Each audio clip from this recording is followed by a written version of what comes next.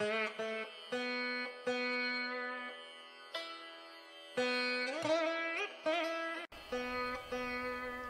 we will learn how to make Igor procedures.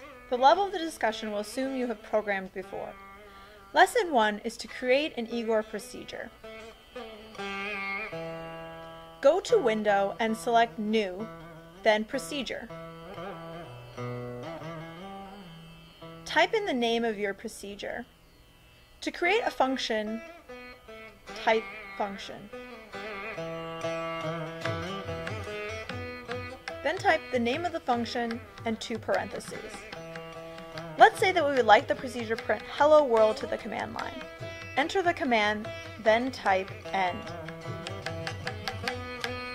To compile the procedure, click Compile or select any other window. Run the function on the command line by typing the function name.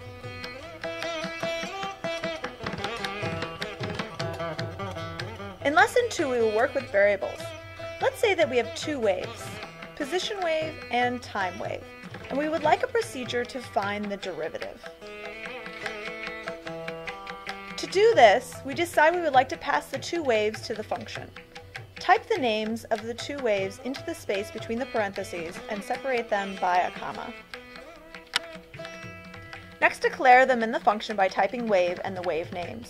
You can declare variables by typing variable and the variable name. To make new waves in the function, use the make command.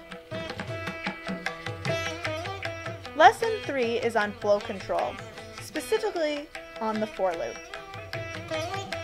Let's add a for loop. We initialize the loop variable i.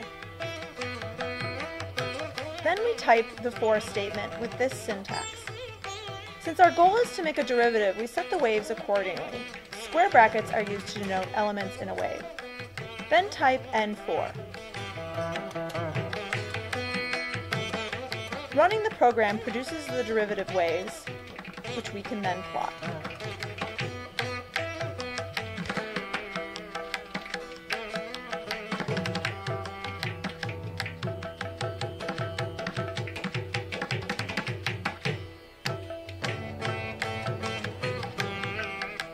That's it.